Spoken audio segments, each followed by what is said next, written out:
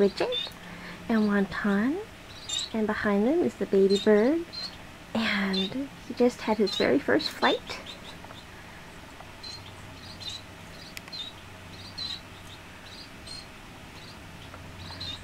Here are some of his brothers and sisters. They're waiting for their first flight. They're all happy. Oh, look. See, that one wants to fly. Yeah. Little widget. Little widget.